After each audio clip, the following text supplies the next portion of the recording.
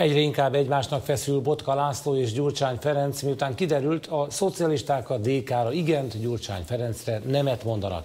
Az MSZP miniszterelnök jelöltje az OTV.hu-nak azt mondta, Gyurcsány Ferenc csúsztat, hangulatot kelt és hazudik, amikor azt állítja, hogy többször találkozott Orbán Viktorral, mint vele vagy bármely más ellenzéki vezetővel. A DK elnöke szerint azonban csak összefogással lehet legyőzni Orbán Viktort. Botkával kicsit nehezebben ment, többször rátelefonáltam, ráírtam, aztán végre visszahívott.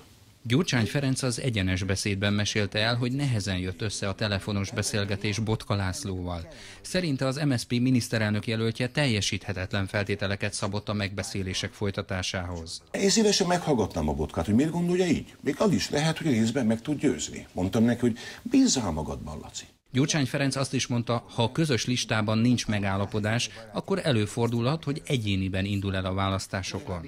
Olyan helyen fogok menni, ahol erős baloldali hátország van, és nagyon fog fájni az MSZP-nek. 13. kerület. Hát van egy pár ilyen kerület.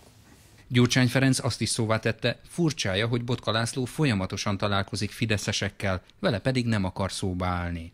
Találkozni fog Navracsics Tibor, magyar biztossal. Nem ez a normális? A Fideszes Navracsics eh, Tiborral. Én meg hát végre tízadok itt hetek, hónapok óta, hogy azt elérjem, hogy legalább annyiszor találkozom én velem, mint az elmúlt fél évben találkozott mondjuk Orbán Viktorral. Lehet, hogy nem értünk egyet. járnak össze azért. De kétszer találkoztak.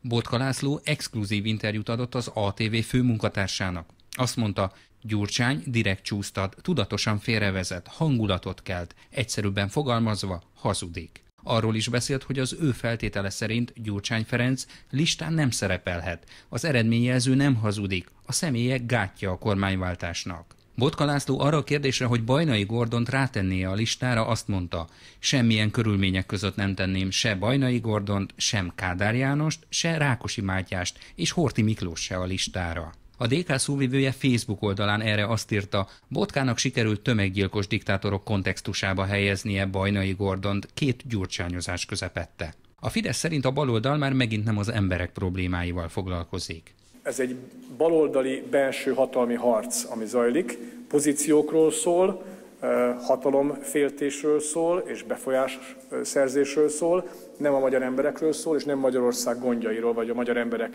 problémáiról. Botka László azt is mondta az interjúban, ha jövőre győz a baloldal, akkor Orbán Viktor rendszere darabjaira fog hullani.